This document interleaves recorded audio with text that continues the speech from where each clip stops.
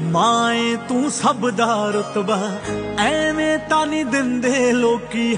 ਮਾਏ, ਤੈਨੂੰ ਆ ਦੇਖ ਲਓ ਦੋਸਤੋ, ਕੁੜੀ ਕੈਨੇਡਾ ਤੋਂ ਆਈ ਗੱਡੀ ਦੀ ਡਿੱਗੀ ਦੇ ਵਿੱਚ ਵੜ ਕੇ। ਜਦੋਂ ਪਰਿਵਾਰ ਗੱਡੀ ਦੇ ਆਲੇ ਦੁਆਲੇ ਹੋਇਆ ਤਾਂ ਪਰਿਵਾਰ ਨੂੰ ਕੇਰਾ ਤਾਂ ਇੰਜ ਲੱਗਿਆ ਹੋਣਾ ਕਿ ਸਾਡੀ ਬੇਟੀ ਨਹੀਂ ਆਈ ਤੇ 에ਅਰਪੋਰਟ ਤੋਂ ਗੱਡੀ ਖਾਲੀ ਮੁੜਾਈ। ਪਰ ਜਦੋਂ ਡਿੱਗੀ ਦੇ ਵਿੱਚੋਂ ਨਿਕਲੀ ਕੁੜੀ ਤੇ ਪਰਿਵਾਰ ਦੇ ਬੇਹੱਦ ਹੋਸ਼ ਉੱਡ ਜਾਂਦੇ ਹਨ। ਜਿੱਥੇ ਕਿ ਦੋਸਤੋ ਮਾਮਾ ਧੀਆਂ ਪਾਉਂਦੀਆਂ ਹਨ, ਗੱਲ ਬੱਕੜੀ ਤੇ ਬੇਹੱਦ ਭਾਵੁਕ ਹੋ ਜਾਂਦੇ ਹਨ। ਜਿੱਥੇ ਕਿ ਦੋਸਤੋ ਦੇਖਿਆ ਜਾਵੇ ਕਿ ਅੱਜ ਦੇ ਸਮੇਂ ਦੇ ਵਿੱਚ ਪੰਜਾਬੀ ਚੰਗੇ ਪੱਖ ਨੂੰ ਲੈ ਕੇ ਵਿਦੇਸ਼ਾਂ ਦੇ ਵਿੱਚ ਜਾ ਰਹੇ ਹਨ, ਪਰ ਜੋ ਵਿਦੇਸ਼ਾਂ ਦੇ ਵਿੱਚ ਵਸ ਰਹੇ ਹਨ, ਉਹਨਾਂ ਦੇ ਕਿਤੇ ਨਾ ਕਿਤੇ ਦਿਲ ਦੀ ਭਾਵਨਾ ਕਿ ਉਹ ਜਲਦੀ ਪੰਜਾਬ ਆ ਜਾਣ। ਤੇ ਤੁਸੀਂ ਇਸ ਵੀਡੀਓ ਦੇ ਵਿੱਚ ਦੋਸਤੋ ਸਾਫ਼-ਸਾਫ਼ ਦੇ ਸਕਦੇ ਹੋ। ਜਿੱਥੇ ਕਿ ਦੋਸਤੋ ਦੇਖਿਆ ਜਾਵੇ ਕਿ ਚੰਗੇ ਪੱਖ ਨੂੰ ਲੈ ਕੇ ਬੇਸ਼ੱਕ 60% ਪੰਜਾਬ ਦੀ ਜਵਾਨੀ ਵਿਦੇਸ਼ਾਂ ਦੇ ਵਿੱਚ ਮੂਵ ਹੋ ਰਹੀ ਹੈ।